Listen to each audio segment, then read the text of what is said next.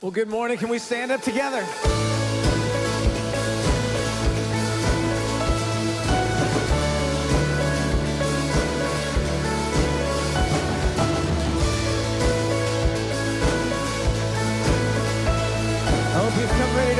this morning. Who breaks the power of sin and darkness? Whose love is mine? and so much stronger. The King of glory, the King above all kings, who shakes the whole earth with holy thunder and leaves us breathless in awe and wonder. The King of glory, the King above all kings. Come on, I gotta hear you this morning. This is a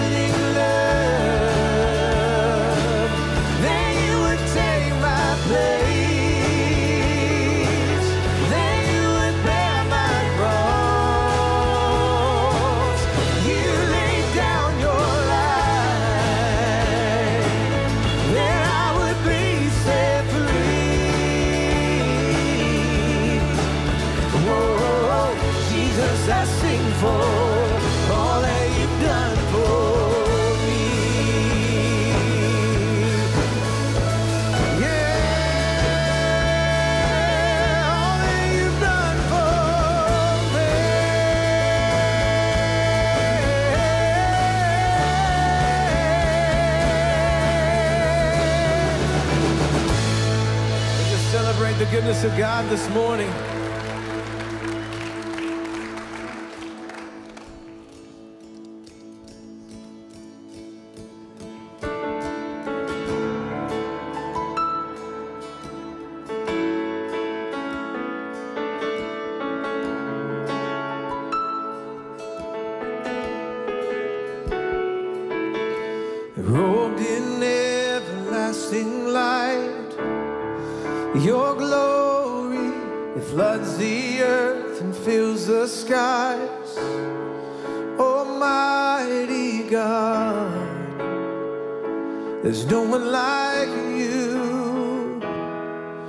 and mountains tremble when you speak.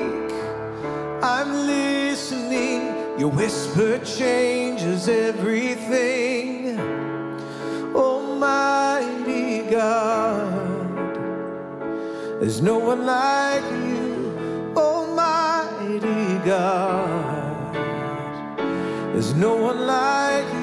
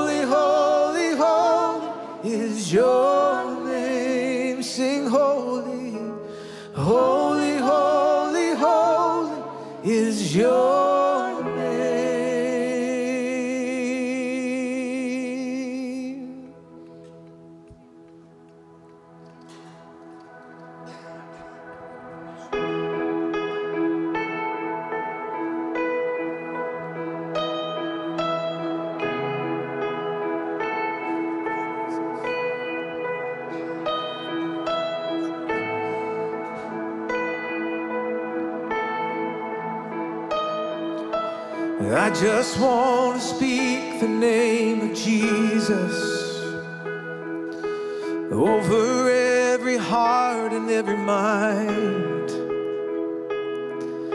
Cause I know there is peace within your presence. I speak Jesus. And I just want to speak the name of Jesus Till every dark addiction starts to break. Declaring there is hope and there is freedom. I speak Jesus.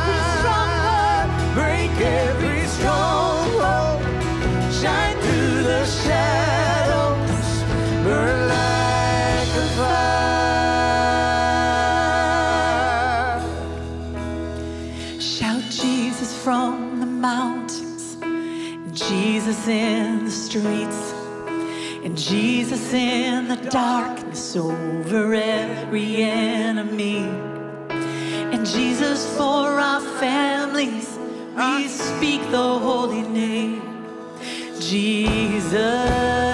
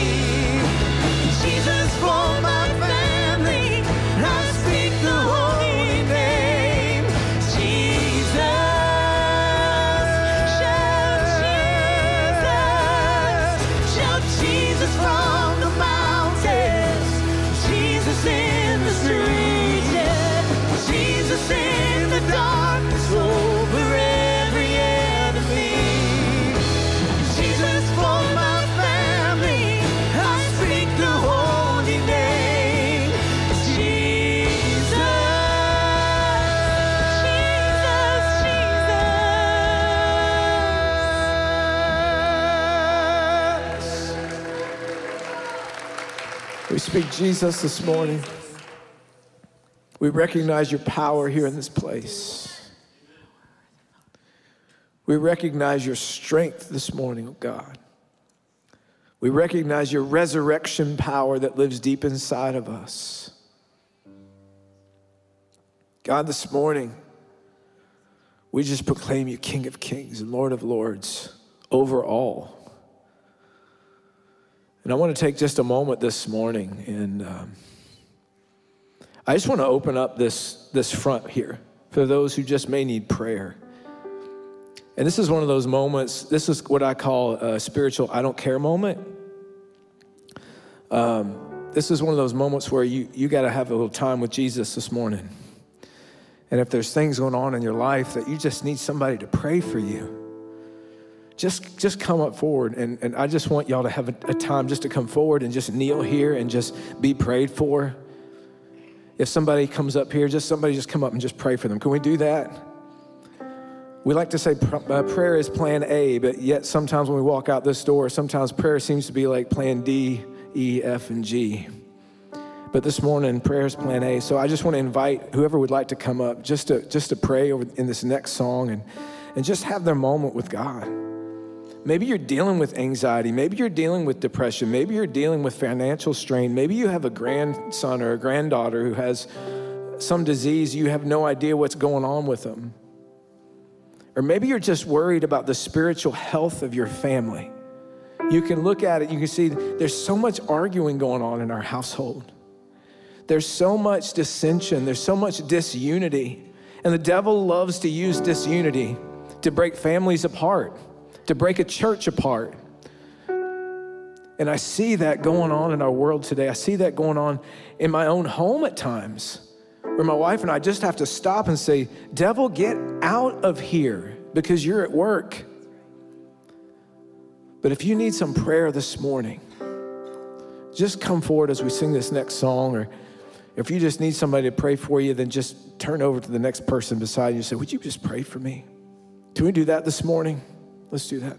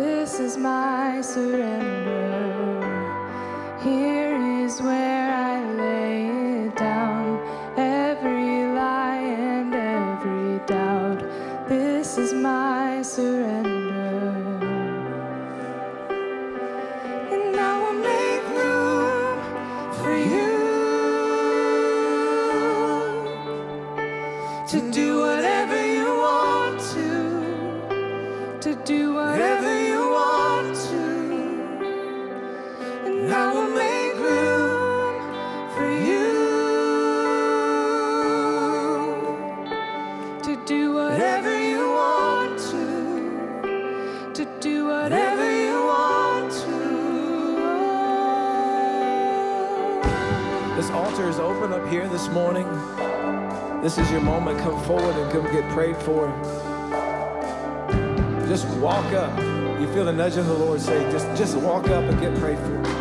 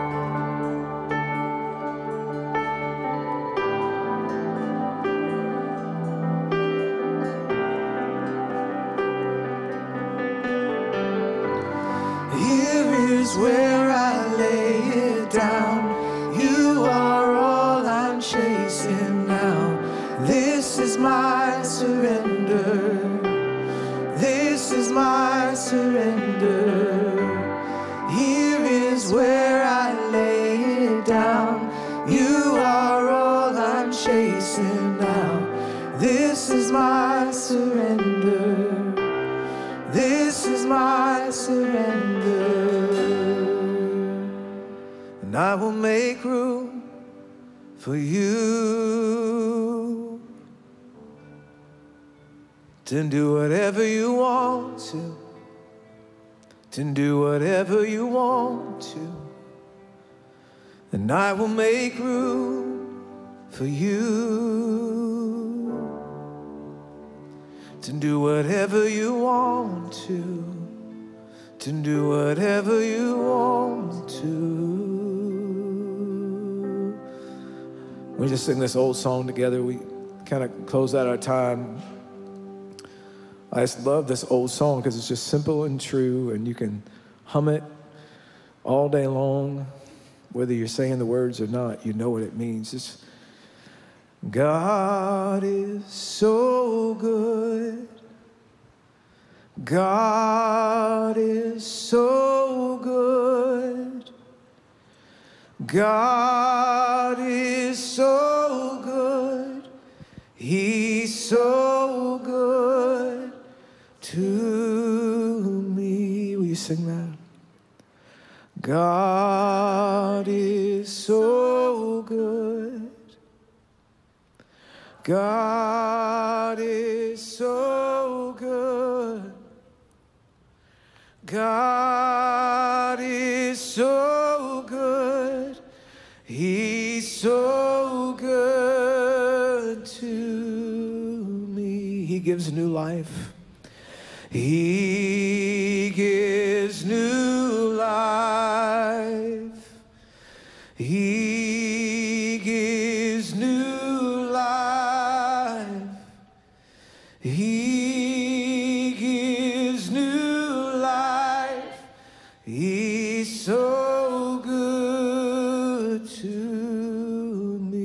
is so good. God is so good. God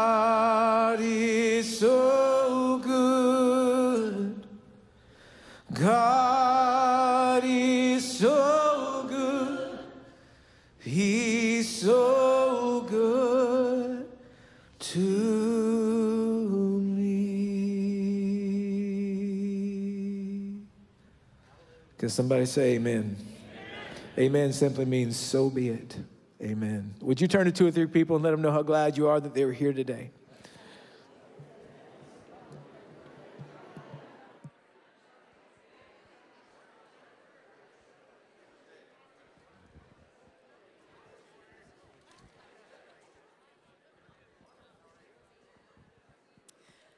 Well, good morning, Riverside Church.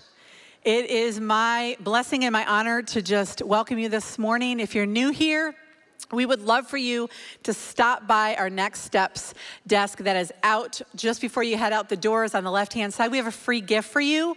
We just want to say thank you. Thank you for coming, choosing Riverside, and being a part of this service this morning. If you've been here a little while and you have yet plugged in or have found where you want to be plugged in, we have a class called Discover. That is a three week class, and we would have you register for that. We would have that opportunity then to get to know you, and you would get to know a little bit more about what Riverside Church is about. And we would love for you to go and visit our 411 page that's on our website. If you have our app, you can go there. That is just kind of a stop off place for you. Everything you need to know about what is happening here at Riverside Church uh, is going to be right there on that app, on the 411 app. So don't forget to just check that out if you have any questions or if you'd like to sign up for Discover. And at this time, we would talk about our offering and our giving. And we just want to thank you for all that you do to make it possible for Riverside Church to go out into the community and overseas to be a place in hands and feet of Jesus. We could not do it without you. If you are visiting, we're not asking you to give anything. We would just love for you to be a part of the services and just be here. If you are a regular, uh, give your offerings to Riverside Church. There's three ways you can do that. One is the old fashioned way you can put it in the mail and put a stamp on it and put it in the mail to us. You can, as you leave the auditorium, there are two black boxes on the left and the right. You can put it in there, or you can do it online. You can just go to our app or go to our website and just follow along with the guidelines there. Again, I just want to thank you for all that you do to make it possible for Riverside Church. We are so excited. We have an opportunity as a church for the first time ever in the life of Riverside to have every one of our missions partners here on February 15th through the 20th. You got to hear from JJ, he's one of our missions partners. They're all going to be here. Our local missions partners and all of our global partners are going to be here under one roof for that whole week. Visit the 411. We're going to have a calendar of events there that you can come and be a part of. And just to touch on a couple of them, um, on Wednesday is our one of our big kickoff celebrations missions night, and there's going to be an international tasting. So all of our missions partners that are coming from overseas, we're going to have a little taste of their culture for you to come and visit the tables. It's going to be right here in the auditorium. You're going to kind of come in and visit all of the tables and get a chance to talk and get to know our missions partners. This is a great opportunity for them to thank you, Riverside, frankly, for all that you do to make it possible for them to do what God has called them to do. And that's a huge thing for them. But it's also an opportunity for them to get to know you, right? On Thursday, if you, if you participate in a life group, we're asking the life groups to register on that 411 page. You can have one of our missions partners come to your life group or do it via Zoom and just have a chance to do life with you on that Thursday. And then on Saturday, we're doing another serve day with our missions partners. They're going to kind of be in charge of, charge of all the jobs that we do there at Edgewood Academy. So we all are familiar with Edgewood, right? So we get to go there and serve as a church along alongside our missions partners. So they're coming from over there to come here and do work beside us. And that is a great and a huge opportunity for us to be able to do that with them.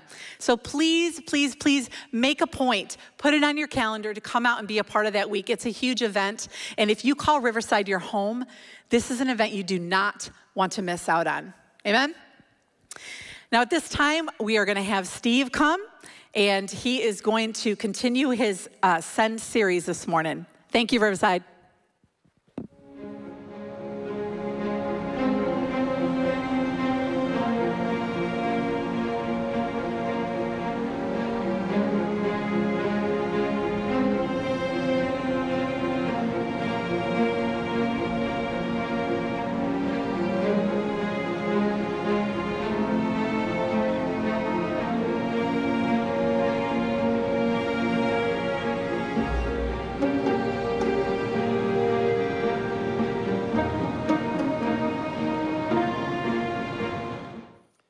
God, thank you for uh, the beautiful sky outside.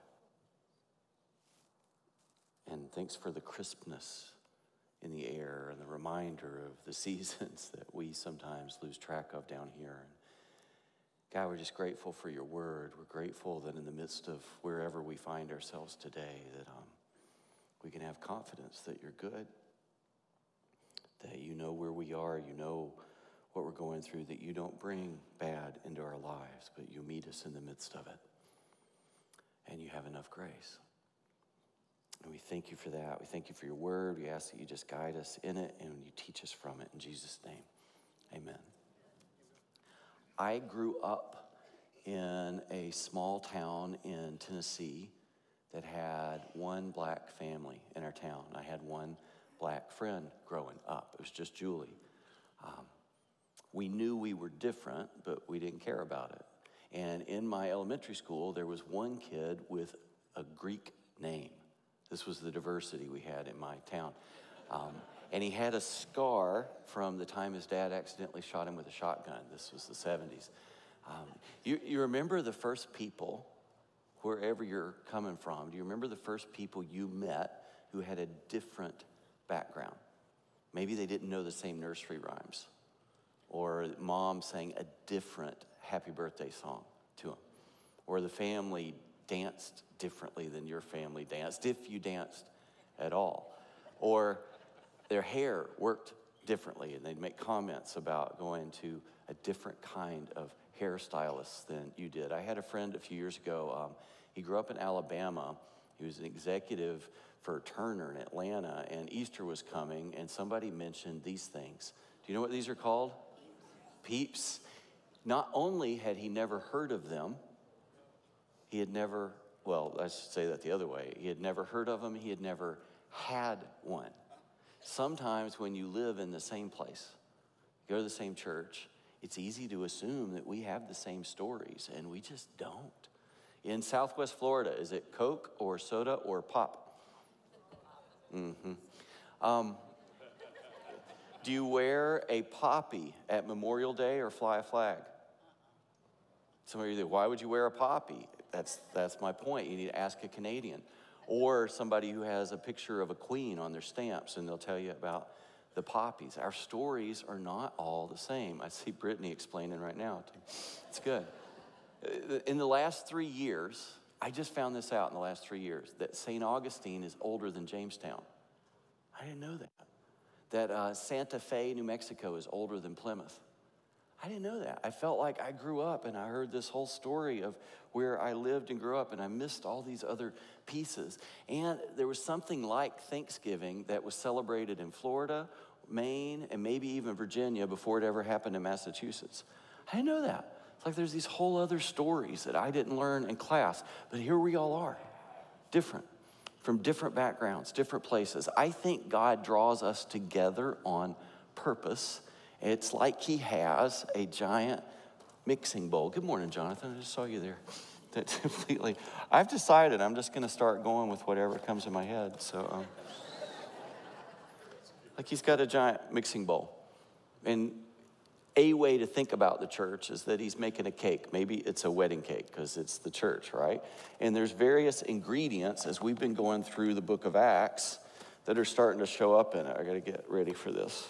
I haven't actually thought through where I'm going to put everything. So, first service, we can um, enjoy this. We saw it in the book of Acts in uh, 1, the first chapter, verse 8. He tells them, You'll be my witnesses in uh, when the Holy Spirit comes, you'll receive power.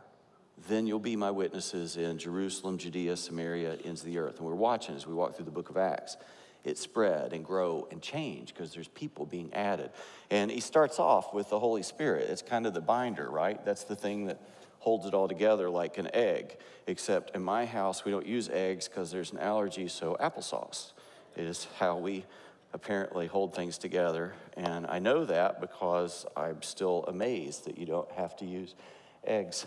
Um, and so let's start with that. And then as you go through the stories, the first 14 chapters of Acts, you start out with the Hebrew speaking Jewish people. So I've got some, I don't know what these are. Jonathan, it's like a little cracker, but anyway, I was going to use, it's probably some kind of matzah meal. I was going to use olive oil, but I apparently didn't know how to open it, and so I made a mess. And then you go from Jewish people who speak Hebrew to ethnic Jewish people who grew up speaking Jews or uh, Greek. So I've got some um, capers to add for the Greeks. I'm not going to tell you what all these things are as we go through. I don't want to offend anybody. But very soon, then, we find uh, the Samaritans.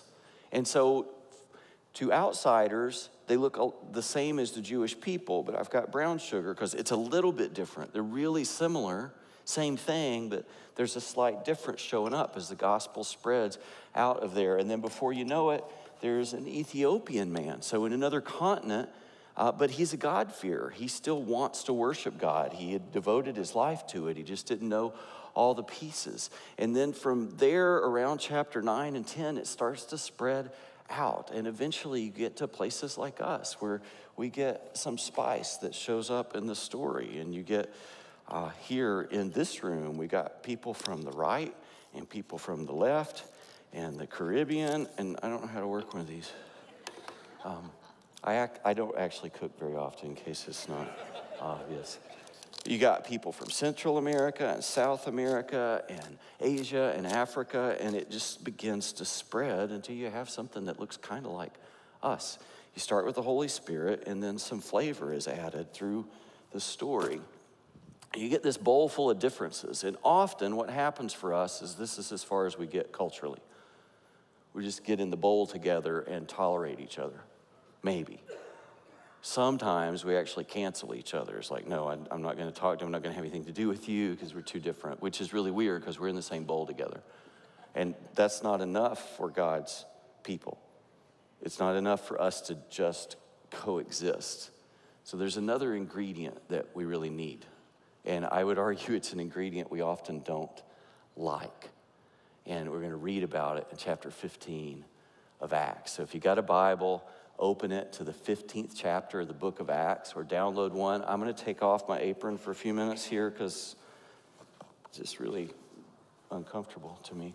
Um, we're going to talk about the missing ingredient and the key to how God will make his cake, build his church, how he wants us to live. How do we be God's one people? Because I've said I don't think it's enough to just be in the bowl together, something else has to happen. So as we go through this, we get the Holy Spirit, and then there's this kind of this eight step recipe that we'll walk through.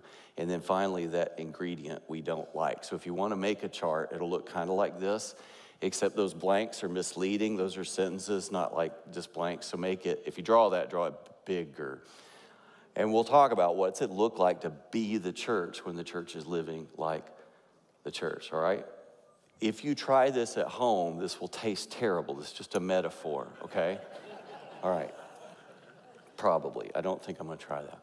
Um, we've been in this region around the Mediterranean. We started out here in Jerusalem, and now in these last two chapters, we've been talking about the church in Antioch as it spread up here. And if you read before you get to chapter 15, Paul and Barnabas are going to travel here to Cyprus and also up here to some churches up there. And now they're back, oh, and even up there.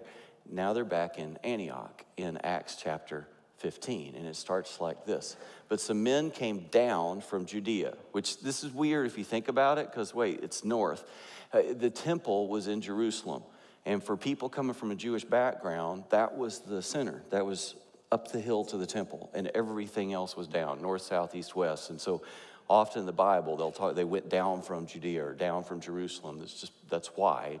So they're going north up to Antioch, and they were teaching the brothers, so the, the Christians, unless you're circumcised according to the custom of Moses, you cannot be saved. So here we go again. We're talking about circumcision over and over and over in the Bible. Ah, if you Google this, don't do an image search. You want to ask a friend what it is. They, they cut off a part of the male organ. It's a reminder of God's promise to Abraham that he will bring life through Abraham's seed. And it's a mark that you took on your body when you were under the law of Moses, when you were one of those who were part of the people of the Old Testament, that back first half of the Bible. And it distinguished, it's one of the things that distinguished that cultural group from other cultural groups. Have you taken time, have you ever run into places where you realize you're up against cultural differences that maybe you didn't know were there? My friend Demetrius and I used to coach soccer together when our daughters were young. Uh, he was from LA, I was from Tennessee. He was black, I was white, but we were both thoroughly raised in US culture. And so when we had practice, where there were these turf fields in our, our area that we could use, we would get there early and we would take our cones and we would mark out our space, our space. And that left tons of open fields way over there and way back in that whole field. There's all kinds of room over there.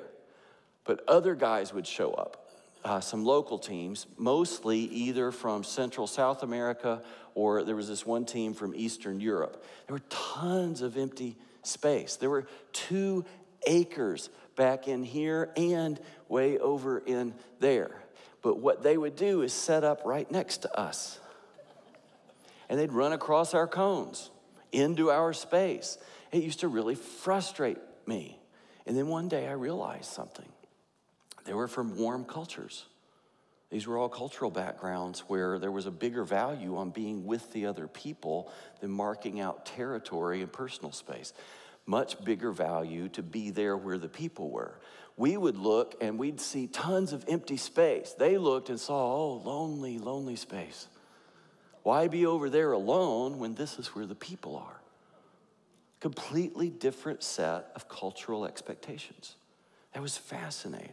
It opens, it's like it pulls things off your eyes, and you go, okay, this is why we approach this differently. We're just raised in a different set of, of um, values there in the house. People who lived in the same town went to the same schools, but we approached something so simple as how to do soccer practice in a different way.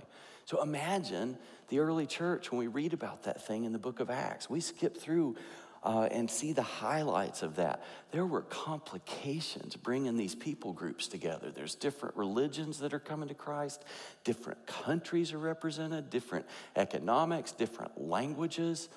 Um, in the midst of that, some were insisting that you got to be Jewish first before you can become Christian, that you've got to think Jewish before you can thank Jesus, before you can turn to him. And that was a huge problem for the church. In verse 2, after Paul and Barnabas had no small dissension and debate with them. That's Christian talk for a throwdown. It was no small dissension and debate. There was a true argument there. Paul and Barnabas and some of the others were appointed to go up to Jerusalem to the apostles and the elders about this question. Notice that they didn't type a hasty email. They didn't go on and give a bad Yelp review. It wasn't, they didn't post a TikTok with their outrage to garner support for their position. They didn't. They made a plan. They're appointed. They've talked about this. They've probably prayed about this. We're going to need to go to Jerusalem and work and directly address this thing. They go straight to Jerusalem to the apostles. They're going to go right into the problem. No gossip and side talk. We need to go to the source and resolve this. We're going to have to meet with the elders of the church. We've got to answer this question. So here's my first ingredient you, you got to walk it out before you write people off. You, you can't just, oh, these stupid Judaizers, we're going to have nothing to do with it. They got to work through it. You have to talk to each other, not just cancel people. You can tweet you can Insta, you can Snap, you can shame people. But if you actually want to solve problems, you got to talk, usually face to face. You got to sit down and do that. If you have a friend who is ignorant or speaking from bad assumptions, how will he know that? How do they know? Until they have a friend that says, Hey, do you know how it felt when you said, Can I tell you what that made me think when you posted that? It's easy to make the other people the bad guys. And in this passage, in, in this context, in the Bible, these people get a label. They call them Judaizers, like they've got to become Jewish before you can be saved. But you got to think of what they're going through. For them, that is centuries of culture that's built up to this moment. You're not going to change that just by ignoring it or ridiculing it or canceling it. You, you don't get to resolution by just attacking people online or posting memes that make fun of them. They'll have to sit down. They're going to have to sit down face to face, and they're going to have to find some common ground, which in this case is Jesus. I'd say in most of our cases, if you really want to work through stuff, that's the common ground we hope to find with all other humans. So here's step two Verse 3. So, being sent on their way by the church, they passed through both Phoenicia and Samaria, describing in detail the conversion of the Gentiles. And they brought great joy to all the brothers, all the other Christians. This is the second step. They spread good news instead of simmering. Paul and Barnabas have just been in the midst of a conflict. They could have marched to Jerusalem in bitterness and frustration and anger, but they don't. While they're on their way, on the journey, they're continuing to tell people about what God's doing. They're focusing on what God's doing and telling people about it. They're, they have a plan for how they're going to go direct, directly address their concerns with the apostles, with the elders. But in the meantime, they don't focus on bad mouthing this group of people who are acting out of bad information. They're ignorant.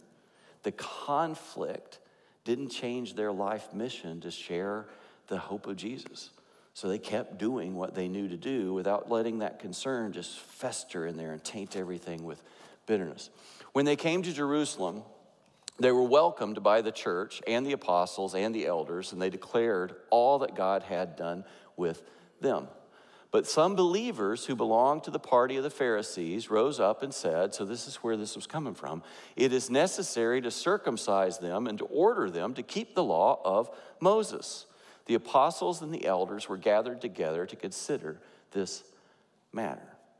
So they're going to talk about this issue. They're not just going to dodge it. The opponents were included, and they're going to take time, which I think is another ingredient we skip occasionally. You take the time it takes, you don't rush the process. There aren't shortcuts. You ever bake an actual cake and try to speed things up? How'd that go? when you sped it up. Some of you guys, you buy those big green eggs or the Kamado Joes. Anybody got those? You spend hours prepping that steak and getting things ready, and then you seal it in that container and you wait. How long do you wait? As long as it takes. You don't rush it. Not if you want that steak to melt on your tongue, you don't rush it. When it comes to conflict, you have to take the time it takes. There's not a shortcut. And this is way more important than steak when you're dealing with other people, especially brothers and sisters. You got to walk it out. You got to walk out the whole thing. I've got a friend who just teaches Christians how to do conflicts. We're going to get to spend some time with him next spring or summer just to do training with our elders and some of our leaders because it's so hard for us to sit down and work through the whole thing in a way that values each other. Um, you can't, when you're sealed in that steak, you can't just keep opening the lid or stirring the coals. You have to take the time to have the hard conversations. People get in a hurry and then they start calling names, and all of a sudden on the internet, it's like racist, idiot, bigot, boomer, snowflake. And that sends the whole process sideways because now you got a whole new set of things you got to work out. There's a whole new set of conflicts and damage to process now. Maybe there are ignorances and biases and assumptions that sometimes you have to surface those and address those, but you got to commit to walking it out without sabotage. Look at what happens in 7. And after there had been much debate, Peter stood up and said to them, When did Peter stand? After. He's taking the time it takes, obeying the Holy Spirit after they had talked. Much debate. I don't know what that meant. Was that days? It, wasn't minutes. I'm sure it was at least a day. If you've ever been in conflict, really trying to work out how are we going to find unity here, it's at least a day and very possibly more. Then he speaks and he said, Brothers, you know that in the early days God made a choice among you that by my mouth the Gentiles should hear the word of the gospel and believe. And God, who knows the heart, bore witness to them by giving them the Holy Spirit just as he did to us. And he made no distinction between us and them having cleansed their heart by faith. He, he doesn't goad, he doesn't gloat, he doesn't even play the I'm an apostle, listen up card. He just points out here's God's own testimony. You guys saw what happened with me. And if you go back and read it, it was hard for Peter because he's going to cross some barriers that culturally he felt like he was doing wrong to cross them. And God's like, You need to do this. God made no distinction. There's no us and them there's we in the church. And he gave them the Holy Spirit just as he did to us. These non Jewish people, these outsiders, they got the same Holy Spirit we did. God made no distinction between the first round and the walk ons. He circumcised their hearts. This is what he's using his language for. To clean their hearts by faith is referring to some old concepts, concepts that'll show up. Apostle Paul will refer to this. The Bible said he would do this one day, way back in Deuteronomy. The Lord your God will circumcise your heart, and the hearts of your offspring. He'll, you'll make the seal, he'll make the mark on their heart. He'll do it inside the human instead on the outside of the human. Paul will talk about it in Romans in the second chapter. And then Peter continues Now, therefore, why are you putting God to the test? by placing a yoke on the neck of the disciples that neither our fathers nor we have been able to bear.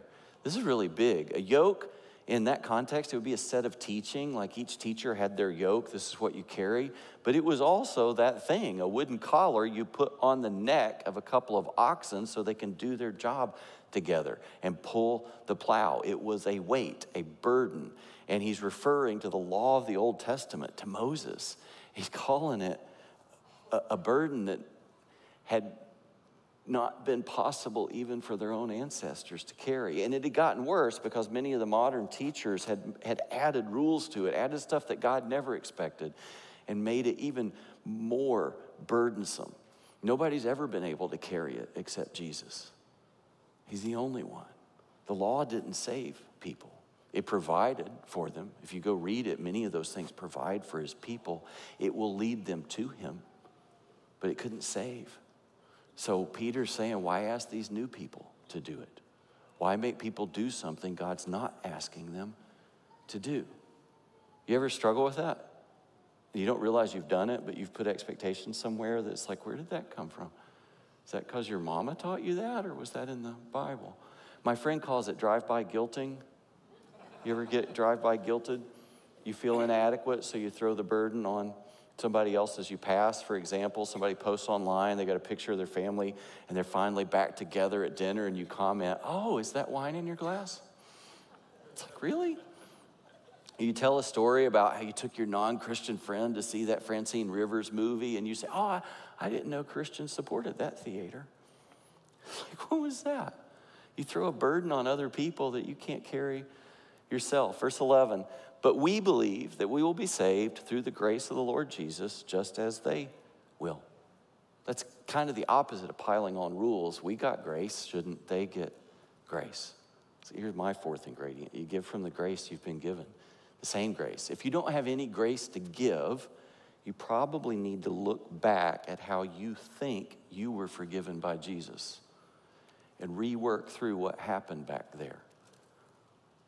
What did he forgive in your life? Where did he meet you? What were you like? What has he taught you and changed in you over the decades? You spend some time there. It's easy to forget and then start expecting people to live by rules that you couldn't pull off and forget they need the same grace you got and maybe the same patience. Uh, expectations change, right? This changes culturally. Now, I mean, you think you just walk through the last 30 years long hair, tattoos, nose rings colored hair. Maybe it meant something for you or the town where you were in that it doesn't mean for them or for the town where they are. And you got to back up and go, wait, is this something God said, or have I just added some expectations that don't make any sense? Is that the things that um, made my own parents uncomfortable or made your parents uncomfortable? Do your parents remember when they put pianos in churches? Oh, the scandal. Or rock and roll music was showing up, or people women were wearing pants. Remember that? When you, your granddaughter gets that nose ring and you're ready to judge it and think, really? Is that so bad? Is that what, does it mean what you think it means? Anyway, Peter's also saying, these people who were once so different are now our brothers and sisters. The Holy Spirit's in the cake. These people you're trying to make an other, they're us, people. They've been saved by the same Jesus. We've got to figure it out. So tread lightly. And all the assembly fell silent. You can imagine that moment. Peter's words had weight, had gravitas. He's like Yoda, saved them, right? And then Barnabas. All the assembly fell silent and they listened to Barnabas and Paul. So now these two speak. And notice it's Barnabas first here. Paul isn't, doesn't get first billing. Uh, that's going to take a while. And, and look at what they say uh, they related what signs and wonders God had done through them among the Gentiles, those other people. Uh, not what they don't say is things were going great, and then these idiots showed up. they focused on the work God was doing without just attacking the enemies. They affirmed the work of God without just attacking the failure. You should try this. Try this at home. How many conversations start with, here's what you did wrong? Or here's what you were thinking. try that one. How's that go? You ever try that when you tell somebody what they're thinking? What if you start with, here's what I see God doing in you? Or here's how you, you, God has used you to make me aware of something or to make my life better. You affirm the work of the gospel in people before you start attacking motives. Sometimes you may need to address faults and flaws, but it's very different to say, I know your heart and I know that you're trying. Can we talk about a better way to do that next time? Can we talk about what may seems to me like a blind spot or some area that maybe you've never thought through? It just feels different than saying, I don't understand why you keep being a little jerk. One of those will sabotage it. When you're in conflict, it is an amazing thing to back up and say, How do we want this to end? What's the goal of our conflict? Are we going for peace? We're going to try to find a way to be friends? Are we, we're going to try to get a solution? Are we hoping for war and famine and strife? It's just useful sometimes to go, what's the goal of this conflict? Or we want to grow here? Or just want to slam my self righteousness down on you and show you what a fool you are? Those are different. 13, after they finished speaking, James replied, Brothers, listen to me. Gives me goosebumps when I read that. James speaks up now all the big heavyweights, the ones who have been directly part of what God's doing, are starting to speak. And now James. James has weight too. This is James, the brother of Jesus. Maybe leader of the elders in Jerusalem. We're not quite sure. But you see what he did after they finished speaking? What had he been doing? Listening. At this point, when the council, they call this the Jerusalem Council, when this happens, uh, around late 40s, near 50. James has probably already written his book that's in the New Testament where he told us, let every person be quick to hear, slow to speak, slow to anger. He's already told us that. He's practicing it. This is actually the way he's living. He had been listening. That's a big ingredient. Listen. I'm going to say that louder. There. Listen. Anybody struggle with this? A friend told me once, uh, said, Steve, I feel like instead of listening, you're just thinking about what you're going to say when I stop talking. He was right. But he, I didn't know that. I didn't know it. I was probably 30 when that happened, or close to it. I didn't know that. I didn't know that's what I was doing. I didn't know it was wrong. I thought I was listening. That's just the way I work. Nobody had ever taken the time to point it out in my life. I wish I could give you a list of all the things that when somebody finally said, Hey, Steve, I know, I know your heart and I know we're friends, but have you ever thought that maybe I grew up in a different environment and that feels different? It's oh, amazing how many of those. Somebody took the time to say, I care about you. Can we talk about this? I think this is what you're doing. I have to actively practice listening. I am not good at it. Um, you can ask my family. I have to do things to help do it because that's just, my brain isn't making excuses for it. It's hard for me. I have to work on it, but I know how important it is. So sometimes in meetings, if we, I take notes. I take a lot of notes. Part of the reason I take notes is because I can listen. I've got something to do, and I'm I'm taking all those words in and writing it down so I can hear it. And then when some big thought wants to interrupt everything, and, and oh, I don't know if I should tell you all this. Um, this is just a stupid little thing that works for me, but I'll hang it on my finger, and then I found I can completely ignore it then. And after the conversation, I can go, oh, yeah, there's, I know what this thing was. And sometimes I'll be in a conversation, I'll just have a couple of fingers. It's like just file that away, put it away. I don't have to think about it. I can concentrate and listen, and later I'll come back to those. What I've learned is that the things that I think are so important when I'm trying to listen, I think I've got to share this, they're just never as important as actually listening. And they're never as important as I think they are in that moment. They, they, they're not important enough to interrupt the conversation. It's just rarely ever true. And I find that if they really are important, I'll remember after the conversation, or God will remind me. And if He doesn't, it probably wasn't worth adding. And I needed to just listen. Listen first, just listen. It's amazing how much more I hear. I struggle with it. You can ask the staff because, well, anyway, don't, don't ask. Um, amazing how much more I take in and how many times, questions get answered before I ever even ask because I just stopped and let a person tell the whole story. You may need practice. You, you learn to ask open ended questions uh, when you're just getting to meet people. Hey, what's something your dad taught you that maybe my dad didn't teach me or did? Or what, what's something your mom taught? What's some unique experience? What's something about your life that I might not know? And let people talk. Or you can say, What specifically bothered you about what I did? Or did I misunderstand what you meant by that? And then just listen. This is James speaking. Simeon has related how God first visited the Gentiles to take from them a people for his name. He refers to Peter as Simeon, uh, Shimeon. That would be his Hebrew or his Aramaic name. Peter, uh, James is connecting Peter to that Hebrew culture, which is interesting because then he goes, with this, the words of the prophets agree, just as, it is written. After this, I will return and I will rebuild the tent of David that is fallen. I will rebuild its ruins and I will restore it. So now he goes and he quotes a prophet Amos, one of the guys who wrote a book for us in the Old Testament of the Bible.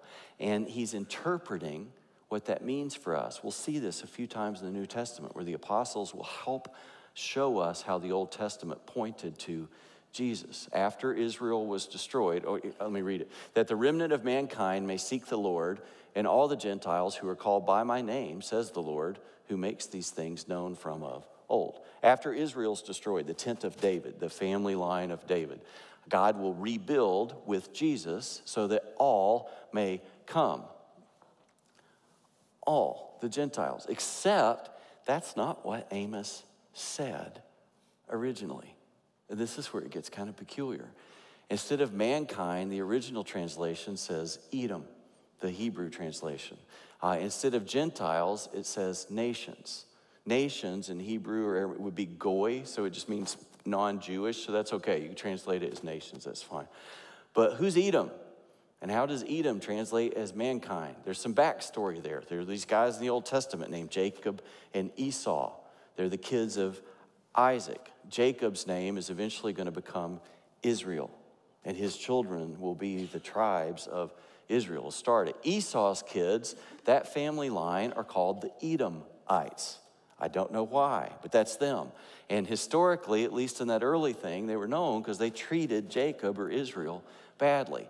And so the Old Testament, when they translated um, from Hebrew and Aramaic, it was Edom. But by the time James is writing, there was a Greek translation of the Old Testament. They call it the Septuagint. If you see it in writing, it would be LXX. LXX means 70.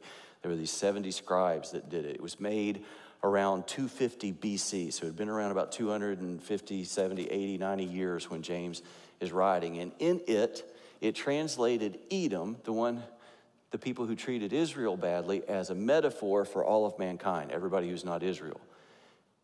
James is quoting from that one, from the Greek translation of the Old Testament. He's using a different translation, which is curious. And you can't build a lot on this, but it's curious that he uses Peter's Jewish name, but he quotes the Greek translation.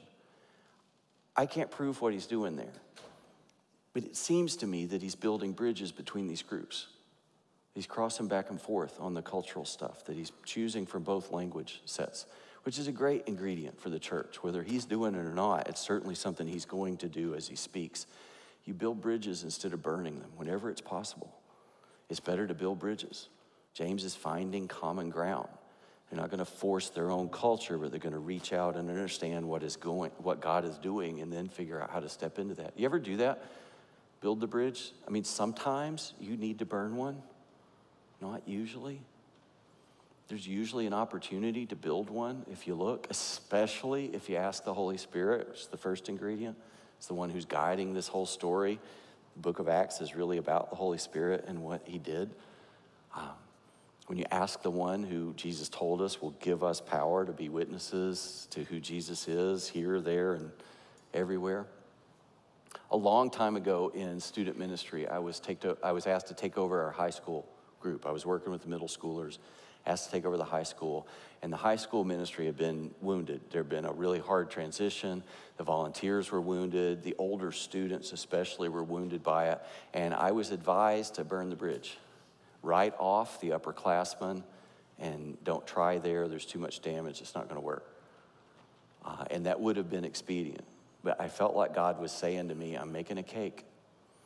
So we tried to build bridges. That was really difficult. They didn't like me coming in, they didn't like me for quite a while. But God honored that really slowly. It took a couple of years to work through it, but that student ministry grew stronger over time. And a few years ago, one of those old students who's a grown man now reached out to apologize for how difficult they had made it back then. And there's fruit way down the road from taking the time to build the bridges. When it's possible, build bridges instead of burning them. James continues, Therefore, it's my judgment that we should not trouble those of the Gentiles who turn to God. This is a little startling.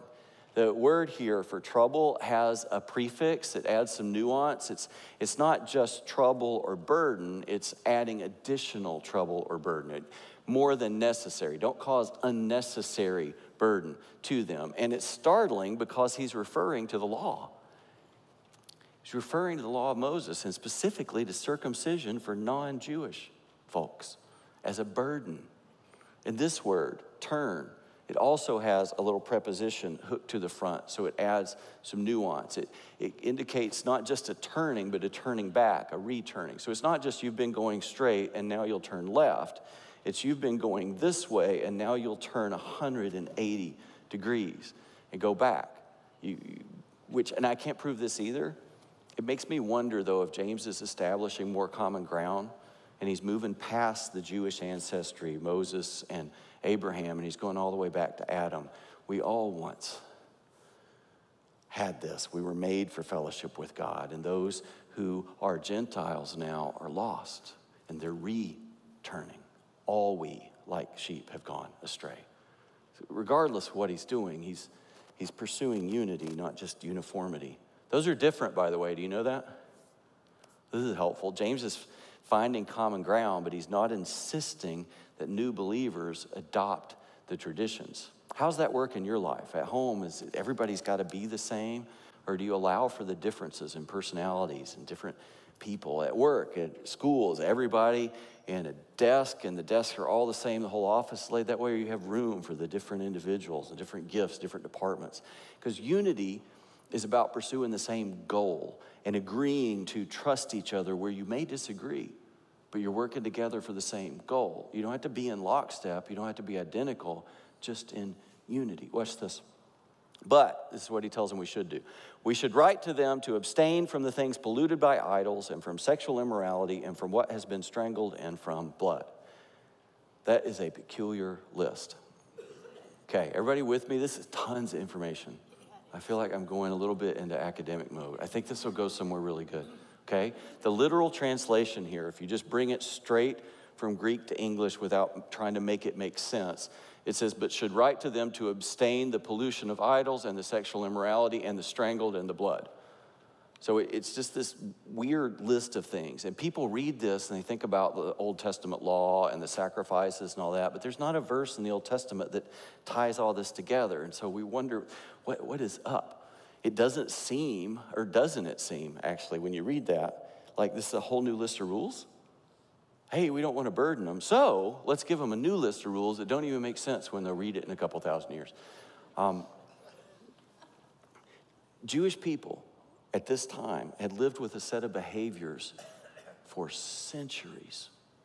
It, it didn't just affect worship, but it would have been part of absolutely everyday life. There's hundreds and hundreds of years where you butcher meat so there's no blood left, period, always. Because back in the books of Genesis and Leviticus and Deuteronomy, God explains the life of the creature is in the blood. It's been that way for a very long time. Blood was only for sacrifice. So for them growing up, it wasn't only wrong to eat it, it was disgusting. And any time you can imagine the kids out with grandma and they watch some Gentile eat, and she's just like, turn away, children. They're filthy, they're disgusting. It's deeply, deeply ingrained that this is just, oh, it's unimaginably gross. The things the heathen do, it's so foul. It's all tied to idolatry, and the, they don't even know how wicked and where that came from. And the Jews were pretty sure, and there's some basis for this, that heathen Gentiles use prostitutes in worship. There is some basis. Some of the temples seem to, to reflect that that's part of what did happen. And so it's like, this is so, so other. It's so offensive.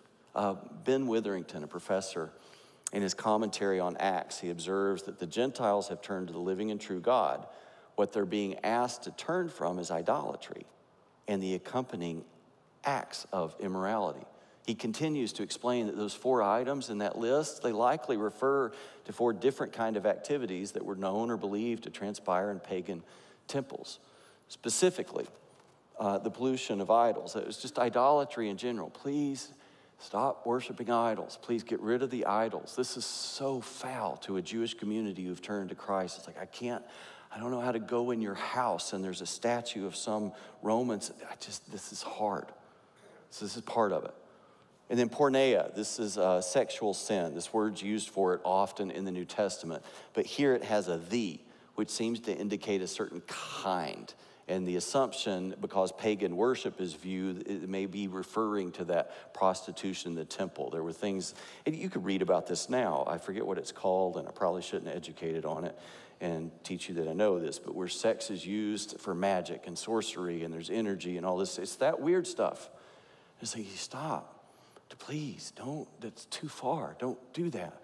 And then the strangled, that was sometimes heathen people, Gentiles, would kill the animal and trap all the blood uh, so they could eat it. You could trap the essence in the animal and use it in rituals. And for people who've grown up Jewish, it's like just, I can't. I can't. I can't. I, that's, I don't know how to even sit in your house or at your table. So, James's request, which we'll read in a minute, they all agree on, it's to please cut out the pagan worship stuff. It's just too hard for Jewish people to overlook. We're going to deal with the circumcision. We're not going to deal with the Sabbath. We're not going to deal with all the Old Testament law stuff. But please cut that out. In other words, remove the practices of idolatry. Remove some of those remnants of the, the false God stuff that you turned from. And most of these, if you read the list, most of them aren't sin. Just the sexual immorality is sin. The rest of them, it's like, please stop. Please stop doing this. Please just try to take this out. These were practices that would have been so offensive.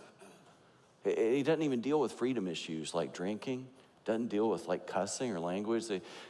these are dealing with things that would keep people from Jesus. These practices would have uh, consequences in their community, trying to find unity. This is not, you need to act right so Christians can look perfect in the world. No. He's just saying, rather, please come away from what you used to worship and, and make a distinction between what you are now and what you were. That's it. You don't have to become Jewish to become Christian, but these are pretty reasonable requests for unity. And that's how unity works. You agree to a decision you can live with, and then you agree to focus on what you have in common. Just think about what this would be like for us culturally if this is what we were talking about. We have so many polarizing arguments, and we're trying to figure out how do we how do we talk honestly about race, and then both uh, political factions go way over here, way over here, instead of like how do we. How, let's get it on the table and figure out how to work through this. What are our goals as a country? How, what do we want it to be, and how do we get there instead of just fighting over everything we disagree on? What's unity look like? You figure that decision out. And you focus on what you've got in common, which for us is Jesus. And James adds, For from ancient generations, Moses has had in every city those who proclaim him, for he has read every Sabbath in the synagogues, which this is his reasoning. And he's, he's arguing in that region around the Mediterranean, there's lots of Jewish people around you. There's been there's synagogues all over these regions. There's been people of Moses everywhere there. This is all over your communities. If you keep the outward signs of idolatry, those Jews will never hear the claims about Jesus. You will alienate them. They won't come near you because it will be so offensive. They'll see Jesus as just some other idol, and they will have nothing to do with that. It will be heathen and disgusting. So he said, Please don't, so that we can actually reach each other. Verse 22, they write a letter they send it to Antioch. It says what James said. They all agree to that. And at verse 28, it seemed good to the Holy Spirit, this is in the letter, it seemed good to the Holy Spirit and to us to lay on you no greater burden than these requirements. It's just the four things. If you keep from these, he says in there, you will do well. Farewell. That's how he ends it. Verse 31. And when they had read it, they rejoiced because of its encouragement. So, whatever we read into it and think, oh, this is a big burden, the Gentiles who got it went, yeah, this is awesome. This makes perfect sense. I completely understand that. The things made sense to them, it wasn't a burden. So, we started with the Holy Spirit. We added a whole bunch of diverse people. And then we went through those eight. Th- I know that's too small to read on your screens, but you walk it out first, you spread good news, you take the time, give from the grace, affirm the work of God, listen, build bridges, pursue unity. Uh, but there's something missing. It was there, but it was really easy to overlook as we went through it. If you want it to be a cake, it's going to need something. You can guess, but you might get wrong. You're going to have to, one thing we're going to have to do is agitate it right? It can't just be left in the bowl to tolerate each other. I think this is the thing the church has struggled with for all 2,000 years, that we've been content to just be in the bowl and not mix, and not actually mix together and figure out, well, let, let's, let's celebrate the differences and the strengths, and how do we learn to talk to each other. So you got to agitate it, but there's something else really big that's missing. If you want that to be a cake, what's it going to need?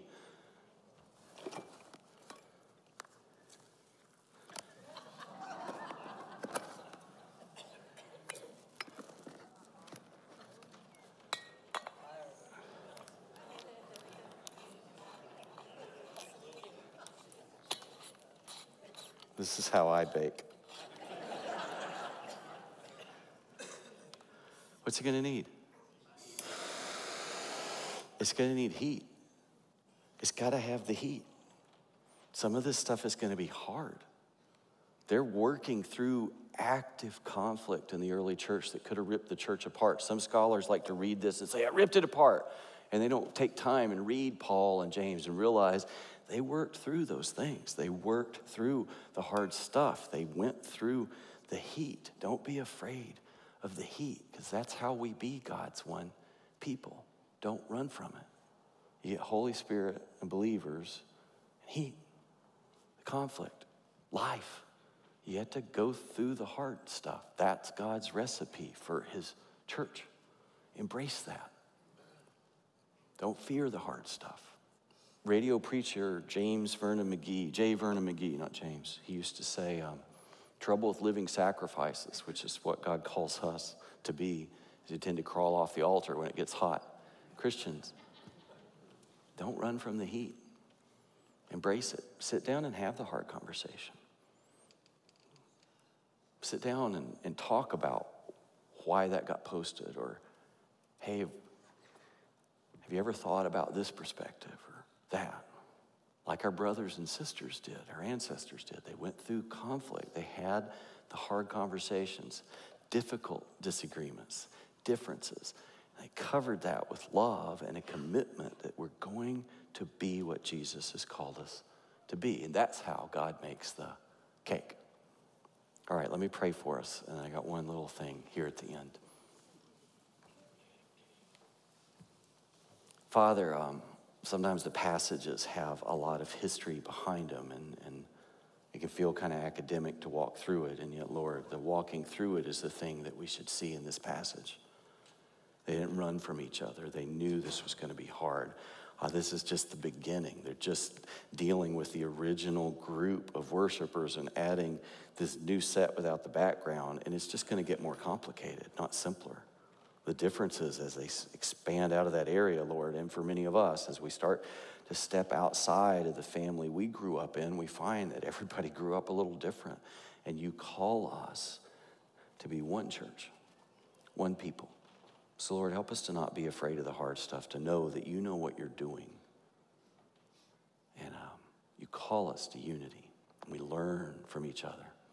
We thank you for that in Jesus' name. Amen. So, Paul, later on, in a letter, well, I don't know if it's later or before, probably later, later on, in his letter to Ephesus, says it simply like this Speaking the truth in love, we're to grow up in every way into Him who is the head, into Christ, from whom the whole body, joined and held together by every joint with which it is equipped, when each part is working perfectly, makes the body grow so that it builds itself up in love. Amen. God bless you, church.